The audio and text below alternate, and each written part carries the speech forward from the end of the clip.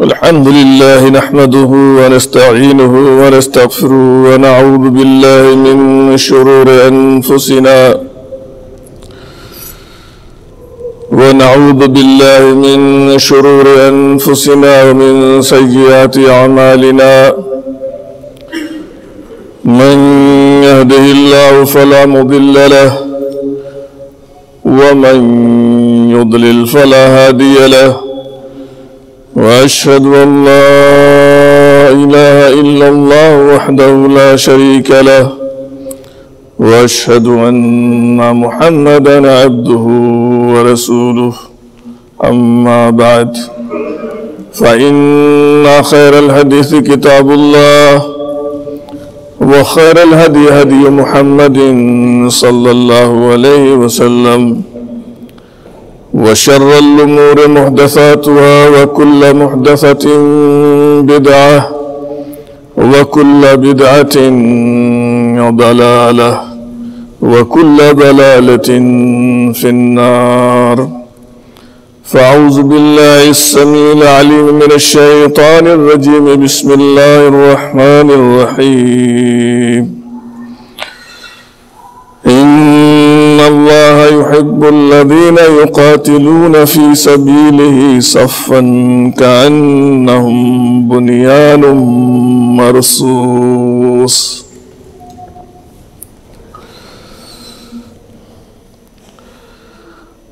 اسلامی الدین بھائیوں اور محترم ساز اکرام، پچھلے جمعے کے خطبے میں جو گفتگو کی گئی تھی وہ اس بات سے متعلق تھی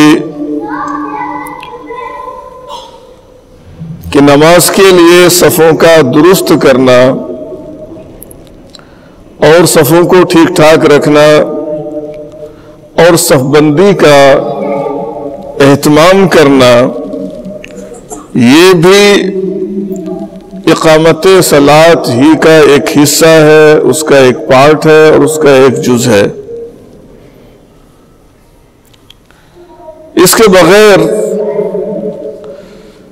ہم اقامت سلاد جس کا اللہ رب العزت نے ہم کو حکم فرمایا ہے کہ نماز کو قائم کرو، صفوں کی درستگی کے بغیر ہم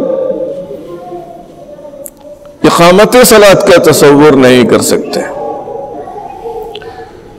یہ عمل کتنا ضروری ہے اور کتنا لازمی ہے اور اس کی کتنی تاکید آئی ہے۔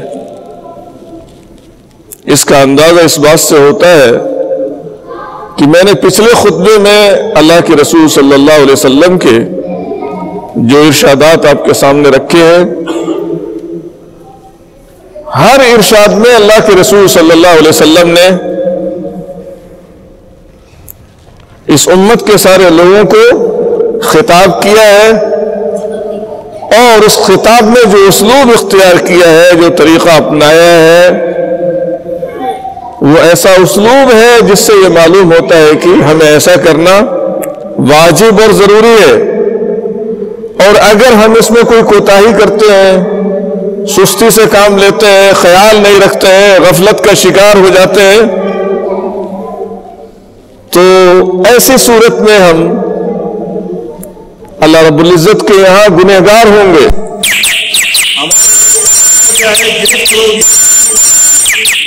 اللہ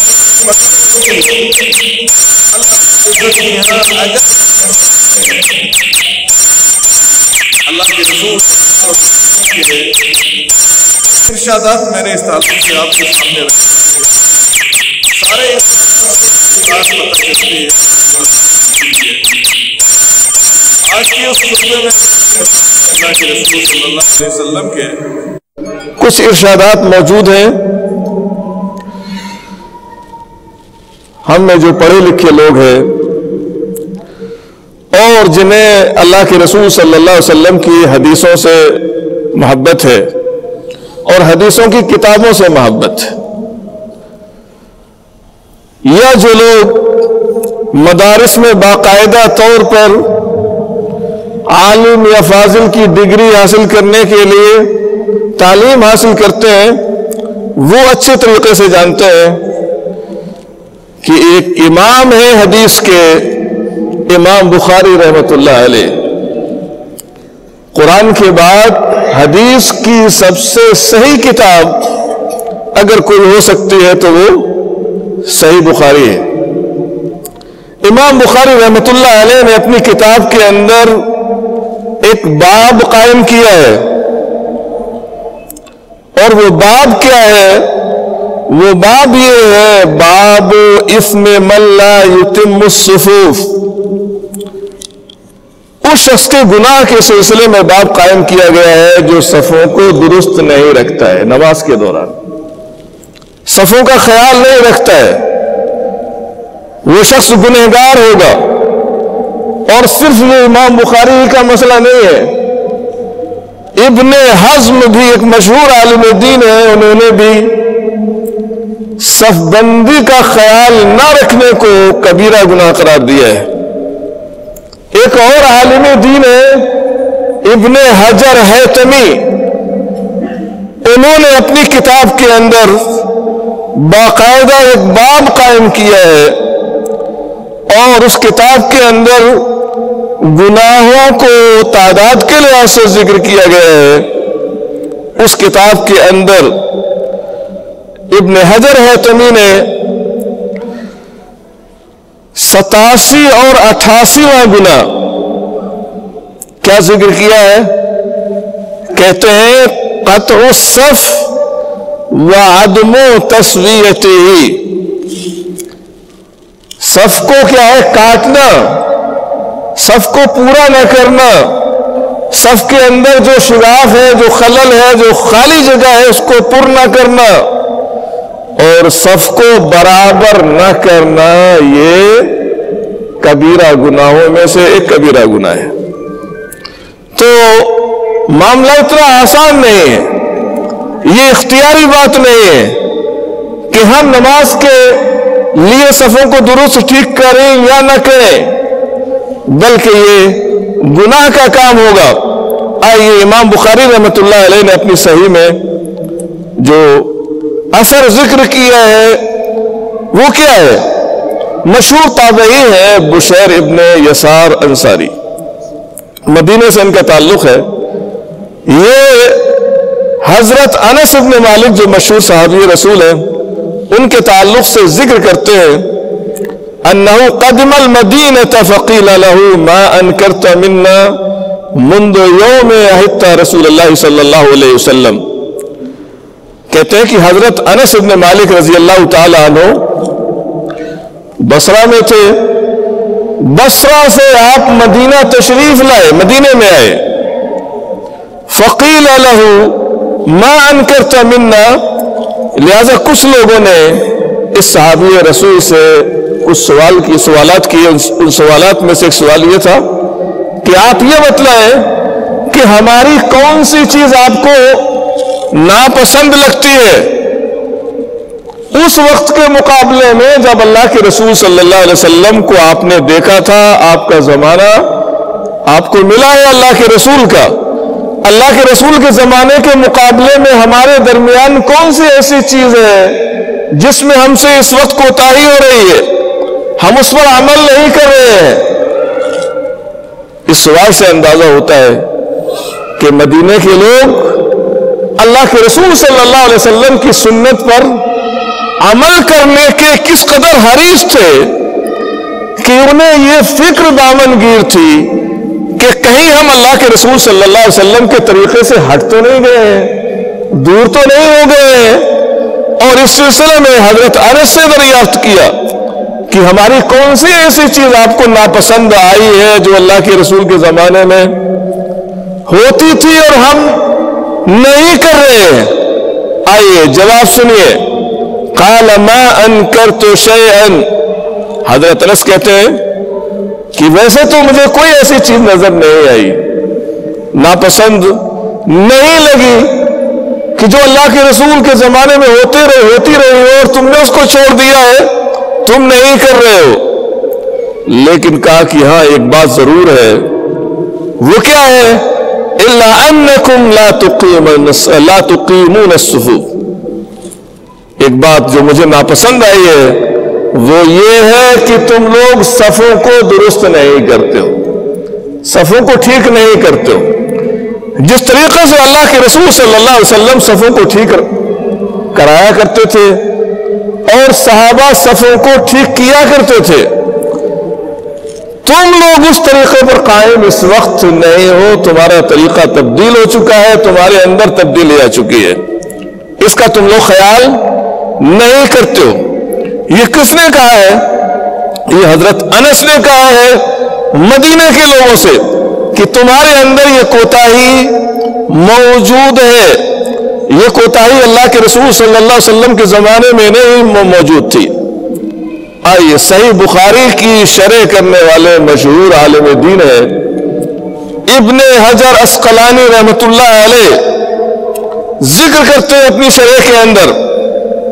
کہتے ہیں يحتمل ان يكون البخاري اخذ الوجوب من صيغه الامر في قوله سووا امام بخاری رحمت اللہ علیہ کے سلسلے میں لکھتے ہیں، ہو سکتا ہے کہ امام بخاری نے کہ صفوں کو درست کرنا واجب ہے، ضروری ہے جو ایسا نہیں کرتا ہے، وہ گنہگار ہوگا۔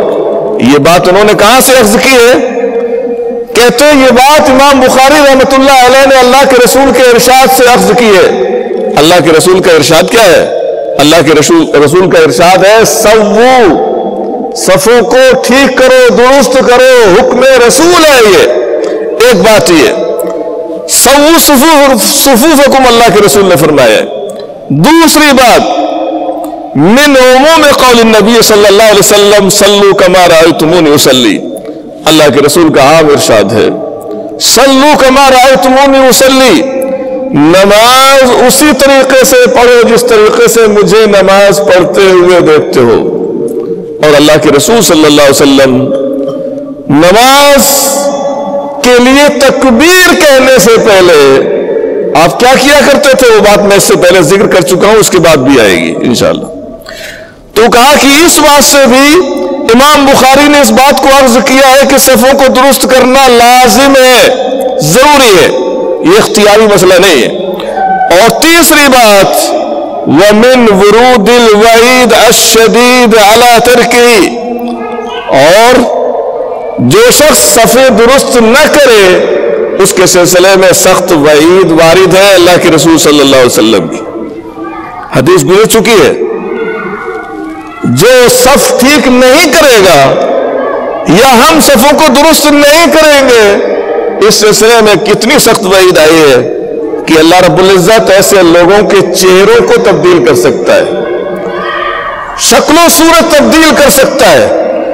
یا دلوں میں اختلاف پیدا کر سکتا ہے اللہ رب العزت اگر ہم نماز کے دوران صفوں کو سیدھا نہیں کریں گے، درست نہیں رکھیں گے، اتنی سخت وعید آئی ہے۔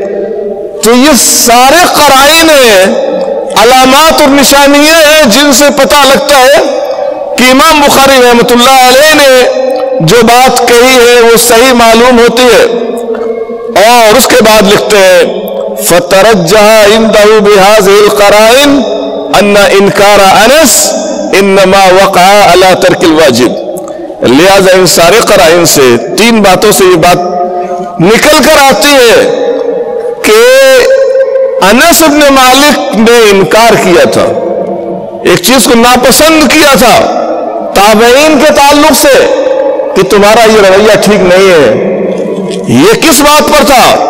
کہتے ہیں کہ واجب کے ترک پر تھا، اگرچہ کبھی کبھی سنت کے ترک پر بھی انکار کیا جاتا ہے۔ لیکن یہاں اس بات کا اندازہ ہوتا ہے کہ ان کا یہ انکار واجب کے چھوڑنے پر تھا۔ کہ صفوں کو درست کرنا، یہ عمل اس امت کے افراد کے لیے انتہائی لازم اور ضروری ہے۔ آئیے، اس کے بعد آگے میرے سامنے ایک اور روایت ہے۔ حضرت برا ابن عازم مشہور صحابی رسول ہے اللہ کے رسول صلی اللہ علیہ وسلم کے سلسلے میں بیان فرماتے ہیں کہ اللہ کے رسول صلی اللہ علیہ وسلم قولی طور پر اور عملی طور پر کتنا اہتمام کیا کرتے تھے صفوں کا؟ کہتے ہیں، کان رسول اللہ صلی اللہ علیہ وسلم یتخلل الصف۔ من ناحیت الى ناحیہ، یمسح صدورنا ومناکبنا ویقول لا تختلفوا فتختلف قلوبکم۔ الحدیث۔ روایت یہ ہے کہ اللہ کے رسول صلی اللہ علیہ وسلم صف کے درمیان داخل ہوتے تھے۔ ایک گوشے سے لے کر دوسرے گوشے تک صف کے بیچ میں داخل ہوتے تھے اللہ کے رسول صلی اللہ علیہ وسلم۔ کس لیے؟ راوی کہتے ہیں یم سو سدورنا ہمارے سینوں کو اپنے ہاتھ سے چھوتے تھے برابر کرتے تھے۔ اور وہ منا کی بنا اور ہمارے کندھوں کو اپنے ہاتھوں سے برابر کیا کرتے تھے۔ اگر کسی شخص کا کندھا نکلا ہوا ہے، برابر نہیں ہے، برابر کرتے تھے۔ سینہ نکلا ہوا ہے، اس کو اپنے ہاتھ سے برابر کیا کرتے تھے۔ یہ تو آپ کا عمل تھا۔ اور قول کیا ہے؟ وہ یقول لا تختلف۔ اور فرماتے تھے کہ تم آپس میں ایک دوسرے سے اختلاف مت کرو۔ اختلاف مت کرو، کیا مطلب ہے؟ آگے پیچھے نہ ہو، برابر برابر کھڑے ہو جاؤ، مل کر کھڑے ہو۔ اور اگر تم نے اس چیز کا خیال نہیں رکھا تو کیا ہوگا؟ کہا فتختلفا قلوبکم اگر تم نے اس کا خیال نہیں رکھا تو ایسی صورت میں تمہارے دل مختلف ہو جائے گی۔ تمہارے دلوں میں اختلاف پیدا ہو جائے گا میں نے یہ بات اس سے پہلے بھی کہی تھی۔ اور آج کل بھی جو لوگ سائیکلو جو لوجسٹ ہیں، لوگوں کی نفسیات کو جو جانتے ہیں، وہ بھی یہی کہتے ہیں کہ ہمارا یہ ظاہری اختلاف ایک دوسرے سے مل کر کھڑا نہ ہونا یا دور دور کھڑا ہونا، آگے پیچھے رہنا، یہ کیا ہے؟ یہ ظاہری اختلاف، ہمارے دلوں کے اختلاف تک لے جانے والی چیز۔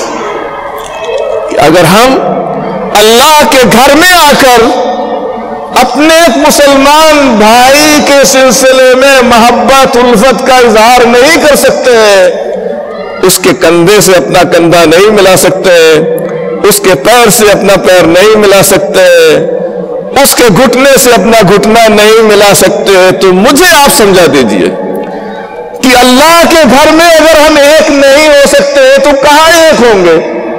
کہاں ملیں گے ہمارے دل؟ مجھے یہ سمجھا دیجیے کہ ہمارے دل کہاں مل سکتے ہیں؟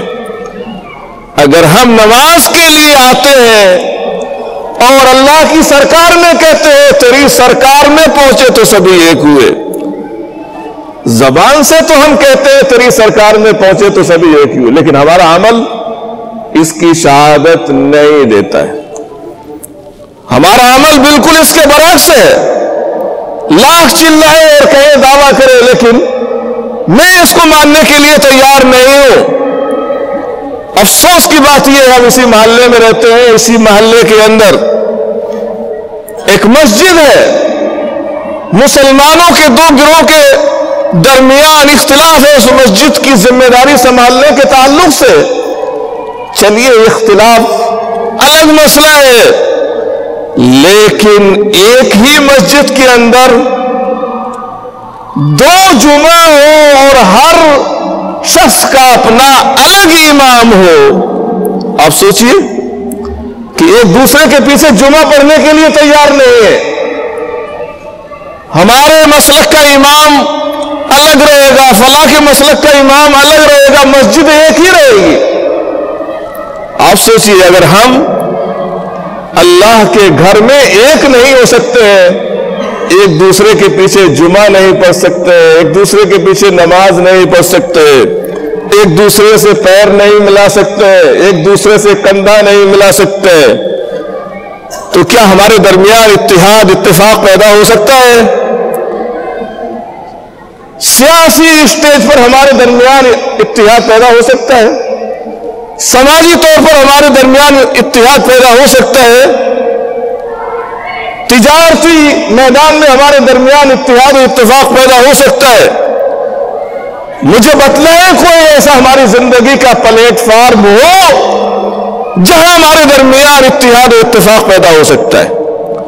اگر ہم اللہ کے گھر میں ایک نہیں ہو سکتے تو معاف فرمائیے گا۔ باہر کبھی ہمارے درمیان اتحاد اور اتفاق پیدا نہیں ہوگا نہیں ہوگا نہیں ہوگا۔ یہ سب جھوٹی باتیں جو اتحاد اور اتفاق کی بات آپ کرتے ہیں۔ تو پہلے اپنی فکر ٹھیک کیجیے۔ مسلک جو آپ کا ہے، وہ دین اور شریعت پر عمل کرنے کا ایک طریقہ ہو سکتا ہے۔ لیکن یہ اصل دین نہیں ہے۔ اصل دین کتاب اللہ اور سنت رسول ہے۔ لیکن ہم تو مسجد میں آ کے اپنا مسلک تلاش کرتے ہیں، دین نہیں تلاش کرتے ہیں۔ اللہ کے رسول صلی اللہ علیہ وسلم کی حدیثیں میں نے آپ کے سامنے رکھی ہے کسی کا مسلک نہیں ہے۔ یہ اللہ کے رسول کے ارشادات ہے کہ آپ صف میں کس طریقے سے کھڑے ہوں گے؟ اور کتنی ضروری یہ چیز ہے؟ ہمارے اندر اس امت کے اندر جو انتشار ہے، جو اختلاف ہے، اس کے بہت سارے اسباب ہیں، ان میں سے ایک سبب یہ بھی ہے کہ ہم اللہ کے گھر میں بھی ایک ہونے کا مظاہرہ نہیں کرتے۔ آئیے، یہ اللہ کے رسول صلی اللہ علیہ وسلم کا فیل بھی تھا، آپ کا قول بھی کتنا اہتمام کرتے تھے آپ صفوں کو درست کرنے کا۔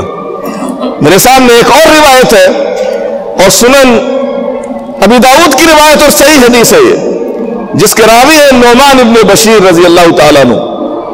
روایت کرتے ہیں، کہتے ہیں اقبال رسول اللہ صلی اللہ علیہ وسلم الناس بے وجہ کسی موقع سے اللہ کے رسول لوگوں کی طرف اپنے چہرے کے ساتھ متوجہ ہوئے۔ فقال، اور اللہ کے رسول صلی اللہ علیہ وسلم نے فرمایا اقیم و صفوفکم، اپنی صفوں کو ٹھیک کر لو، درست کر لو۔ یہ حکم رسول ہے۔ صحابہ کو آپ نے حکم دیا ہے کہ اپنی صفوں کو درست کرو۔ ایک دفعہ فرمایا، دو دفعہ فرمایا آپ نے تاکید کی اس کی۔ راوی کہتے ہیں تین دفعہ اللہ کے رسول صلی اللہ علیہ وسلم نے اس بات کو دوہرایا اقیم و صفوفکم اقیم و صفوفکم اقیم و صفوفکم۔ تین دفعہ اللہ کے رسول صلی اللہ علیہ وسلم نے یہ بات فرمائی۔ صفوں کو درست کر لو، صفوں کو ٹھیک کر لو، صفوں کو درست کر لو۔ یہ مسئلہ اتنا آسان نہیں ہے۔ تین دفعہ آپ نے ارشاد فرمایا اور کیا کہا؟ آئیے۔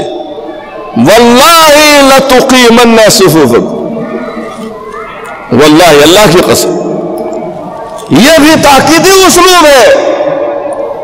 تین دفعہ تاکید فرمانے کے بعد پھر اللہ کے رسول تاکید کر رہے ہیں۔ اللہ کی قسم۔ لتقیمن الصفوف۔ لام تاکید کے لیے ہے، نون تاکید کے لیے یہاں پھر تین تاکید آ گئی۔ کیا کہا؟ لتقیمن الصفوفکم اپنی صفوں کو درست کر لو۔ اور اگر صفوں کو ٹھیک نہیں کیا، درست نہیں کیا تو کیا ہوگا؟ او لَيُخَالِفَنَّ اللَّهُ بَيْنَ قُلُوبِكُمْ اگر تم نے صفوں کو درست نہیں رکھا تو ایسی صورت میں تمہارے دلوں کے درمیان اللہ تعالیٰ اختلاف پیدا کر دے گا، انتشار پیدا کر دے گا بوز و حسد پیدا کر دے گا۔ یہ تاکیدی جملہ ہے۔ اتنی تاکید اللہ کے رسول صلی اللہ علیہ وسلم نے بیان فرمائی ہے۔ نماز کے لیے صفوں کو درست کرنا کتنا اہم ترین عمل ہے یہ۔ لیکن ہماری اکثر مساجد کا حال یہ ہے کہ امام صاحب مسلح پر کھڑے ہونے کے بعد تکبیر یا اقامت ہونے کے بعد مقتدیوں سے کچھ نہیں کہتے ہیں کہ صفے ٹھیک کرنی ہے نہیں کرنی ہے یا صفے ٹھیک ہو گئی ہے نہیں ہو گئی ہے لوگ کیسے کھڑے ہوئے ہیں؟ مل کے کھڑے ہوئے ہیں، الگ الگ کھڑے ہوئے ہیں۔ جی کوئی مطلب نہیں امام صاحب کو۔ یہ امام صاحب کی بھی ذمہ داری ہے۔ کہ اقامت ہونے کے بعد ایک عمل اور ان کو کرنا ہے، وہ بھی ضروری ہے۔ اقامت ہونے کے بعد عمل کیا کرنا ہے؟ صفوں کو ٹھیک کرنے کی کوشش کرنا ہے۔ صفی ٹھیک ہوئی ہے کہ نہیں ہوئی ہے؟ درست ہوئی ہے کہ نہیں ہوئی ہے؟ یہ بھی امام کی ذمہ داریوں میں سے ایک ذمہ داری ہے۔ تو آئیے دیکھیے کہ صحابہ نے اللہ کے رسول کے اس تاکیدی حکم پر کتنا عمل کیا اور کیسے عمل کیا ہے۔ سفید سیدھی کیسے ہوں گی؟ درست کیسے ہوں گی؟ وہ بات بھی سمجھ میں آتی ہے۔ قال، فرأيت الرجل يلزق منكبه بمنكب صاحبه وركبته بركبة صاحبه وكعبه بكعبه. نعمان ابن بشیر رضی اللہ تعالیٰ عنہ کہتے ہیں، اللہ کے رسول نے جب اس اسلوب میں اتنی تاکید فرمائی کہ صفوں کو درست کر لو، تو صحابہ اس پر عمل کرتے تھے کہ نہیں کرتے تھے؟ کیسے کرتے تھے؟ آئیے، کہتے ہیں کہ میں ایک شخص کو دیکھتا تھا یوزخو من کی بہو من کی صاحب ہی کہ وہ اپنا کندھا اپنے ساتھی کے کندھے سے بالکل ملا لیا کرتا تھا۔ کوئی فاصلہ نہیں ہوتا تھا۔ اور کیا کرتا تھا؟ وہ رکبت ہوں بے رکبت ہی اپنا گھٹنا اپنے ساتھی کے گھٹنے سے ملا لیا کرتا تھا۔ اور تیسری چیز وہ کابہ بے کابی اور اپنا ٹخنا اپنے ساتھی کے ٹخنے سے ملا لیا کرتا تھا۔ یہ حدیث کے واضح الفاظ ہیں۔ اور افسوس یہ ہوتا ہے کہ بعض لوگ یہ سمجھتے ہیں کہ گھٹنے سے گھٹنا ملانے کا مطلب ٹخنے سے ٹخنا ملانے کا مطلب ہے کہ تھوڑا سا بس ویسے ہی نزدیک آ جاؤ، قریب آ جاؤ۔ خالی جگہ رہے، کوئی مسئلہ نہیں ہے صف کے درمیان۔ بس بہت زیادہ فاصلہ نہیں ہونا چاہیے۔ ہاں بعض لوگ کہتے ہیں کہ چار انگل کا فاصلہ ہونا چاہیے۔ تو اس میں کوئی مسئلہ نہیں ہے۔ لیکن حیرت ہوتی ہے، صحابہ نے عملی طور سے یہ کر کے دکھایا ہے۔ اور بعض لوگوں سے جب یہ بات کی جاتی ہے کہ کیوں صفوں میں اتنا فاصلہ رہتا ہے گیپ کیوں رہتا ہے؟ مل کے کیوں نہیں کھڑے ہوتے؟ کہتے ہیں، آج کل یہ ممکن ہی نہیں ہے۔ اس پر اس پر عمل ہی نہیں کیا جا سکتا ہے۔ اس امت کے اولین لوگوں نے عمل کر کے دکھایا ہے۔ اور آج ہم لوگ ہیں، ناخلف لوگ ہیں۔ نالائق لوگ ہیں جو دعویٰ کرتے ہیں کہ اس پر عمل ہی کرنا ممکن نہیں ہے۔ یہ کون سی بات ہوئی؟ صحابی رسول یہ بیان کر رہا ہے، صحابہ کا عمل کندھے سے کندھے ملایا، گھٹنے سے گھٹنا ملایا، ٹکنے سے ٹکنا ملایا، اور آج ہم کہتے ہیں کہ ایسا ممکن ہی نہیں ہے۔ کس امت کے افراد ہیں آخر ہم؟ کس نبی کے امتی ہیں؟ اور کن ائمہ کی ہم اتباع یا تقلید کرتے ہیں؟ میں آگے ذکر کروں گا کہ لائیے مجھے دکھائیں۔ کہ آپ کی کسی معتبر کتاب میں لکھا ہوا ہو کہ دو لوگوں کے درمیان اتنا فاصلہ ہونا چاہیے نماز کے لیے جب ہم کھڑے ہوتے ہیں تو۔ وہ بات آگے آئے گی انشاءاللہ۔ بہرحال، تو صاف الفاظ ہیں، صحابی رسول کے کہ لوگ کیا ہے کس طریقے سے صفوں کو درست کیا کرتے تھے، ٹھیک کیا کرتے تھے؟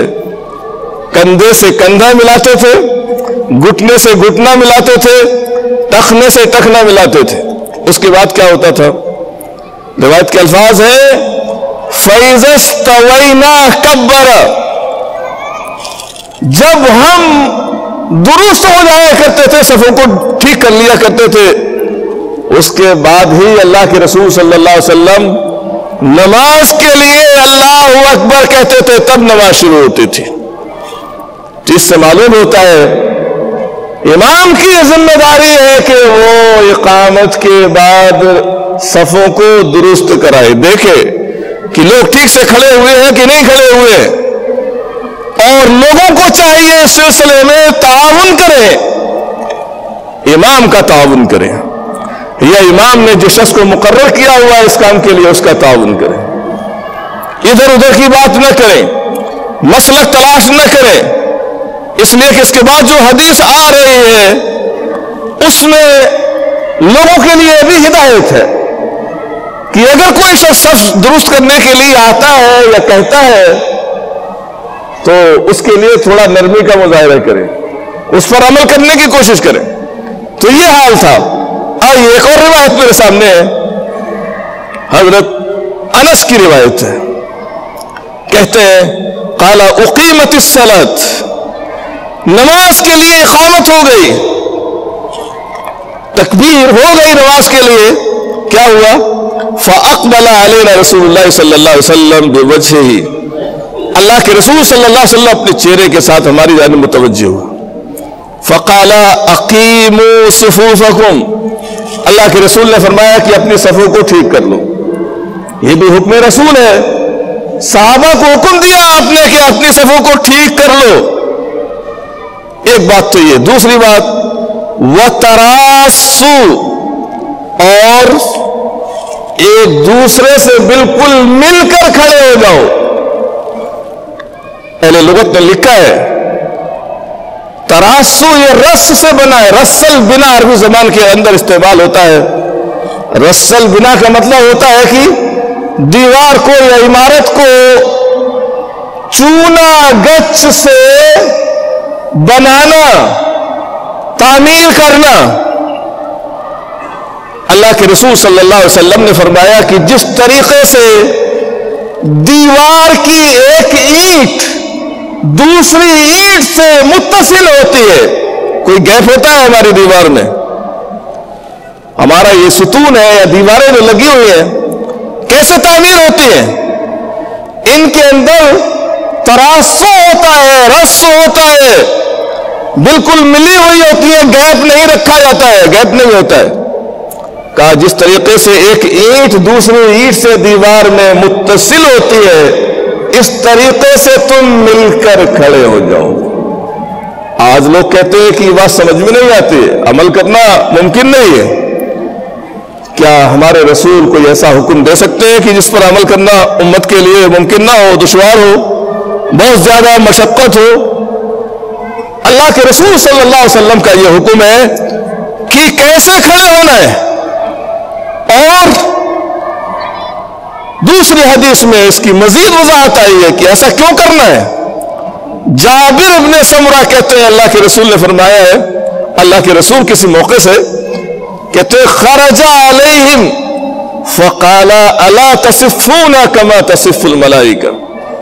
اللہ کے رسول کسی موقع سے صحابہ کے پاس آئے اور ان سے کہا کہ تم لوگ اس طریقے سے صفے کیوں نہیں بناتے ہو؟ جس طریقے سے فرشتے اپنے رب کے پاس صفے بناتے ہیں۔ تو صحابہ کو تشویش سے پوچھا، کیف تصف الملائکۃ عند ربها فرشتے اپنے رب کے پاس کیسے سب بناتے ہیں؟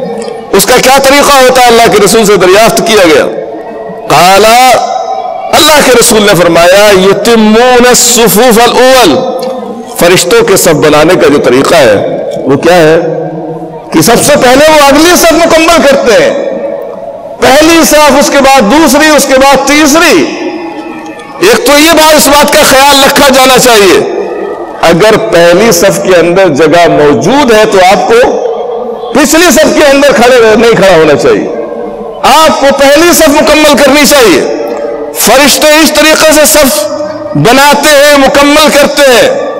ایک تو یہ چیز اور وہ یترا سونا صف صف میں فرشتے کھڑے ہوتے ہیں تو کیا؟ فاصلہ چھوڑ کے کھڑے ہوتے ہیں۔ اللہ کے رسول نے فرمایا کہ مل کر کھڑے ہوتے کوئی گیپ نہیں ہوتا ہے، فرشتے جو صف کے لیے کھڑے ہوتے ہیں۔ اس امت کو بھی یہی حکم دیا گیا ہے کہ انہیں بھی ایسے ہی سب تیار کرنی ہے سب بنانی ہے نماز کے لیے۔ اللہ رب العزت نے قرآن میں ایسے بندوں کی تعریف بیان کی ہے۔ جو لوگ اللہ کی راہ میں جہاد کرنے کے لیے صف بستہ کھڑے ہوتے ہیں تو کیسے کھڑے ہوتے ہیں؟ اللہ تعالیٰ کا ارشاد ہے، ان اللہ يحب الذين يقاتلون في سبيله صفا كانهم بنيان مرصوص۔ یقینا اللہ تعالیٰ ایسے لوگوں سے محبت کرتا ہے جو اس کی راہ میں صف بستہ ہو کر لڑتے ہیں۔ اور ان کی صف کیسی ہوتی ہے؟ کانہم بنیان مرصوص، گویا کہ سیسا پلائی ہوئی دیوار ہے دیوار ہے۔ کوئی فاصلہ، کوئی گیپ نہیں ہے، کوئی نکل سکے ان کی صفوں سے، یا کوئی چیر سکے ان کی صفوں کو۔ کسی کی ہمت نہیں ہو سکتی ہے۔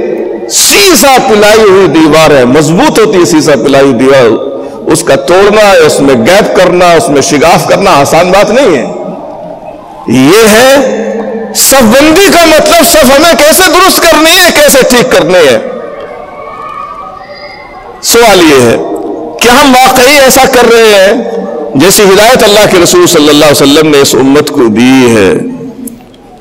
ہم میں سے اکثریت اللہ کے رسول کے اس تاکیدی حکم پر عمل نہیں کر رہی ہے۔ بلکہ افسوس کی بات تو یہ ہے کہ یہ سنت رسول ہے۔ حکم رسول ہے، طریقہ رسول ہے۔ لیکن آج لوگ اس کو بدعت سمجھتے ہیں کہ کوئی نئی بات ہے، نیا طریقہ ہے۔ اگر کوئی پیر ملانے کی کوشش کر لے، تو اپنا پیر کھینچ لیتے ہیں۔ میری کم سے کم گزارش ایسے لوگوں سے یہ ہے کہ آج سے آپ یہ سمجھیں۔ عمل نہ کرے کرے وہ اللہ کا آپ کا معاملہ ہے۔ میں نے صحیح بات رکھ دی ہے۔ لیکن اتنا ضرور خیال رکھیں کہ یہ کوئی بدعت نہیں ہے۔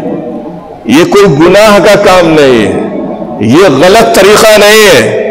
جسے ہم نے غلط طریقہ سمجھا ہوا ہے ہمارے دماغ سے، یہ غلط معلومات نکل جانی چاہیے۔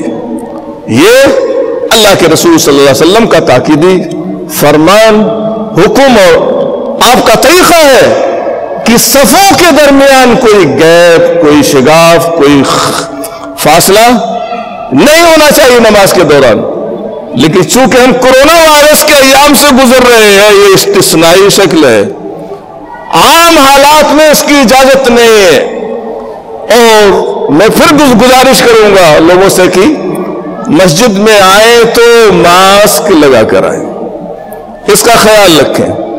اس لیے کہ ہم ہر خطبے میں اس کی ہدایت کرتے ہیں، بتلاتے ہیں، لیکن کچھ لوگ ضرور ایسے نظر آ جاتے ہیں جو ماسک کا استعمال نہیں کرتے کیوں نہیں کرتے ہیں؟ اب پتہ نہیں کیا مسئلہ ہے کہ استعمال کیوں نہیں کرتے ہیں۔ کوئی شرعی مسئلہ ہے، دینی مسئلہ ہے، کئی دفعہ میں یہ بات کہہ چکا ہوں کہ ماسک لگانا یہ توکل کے خلاف بات نہیں ہے۔ توکل کم کرنا ہے آپ کو؟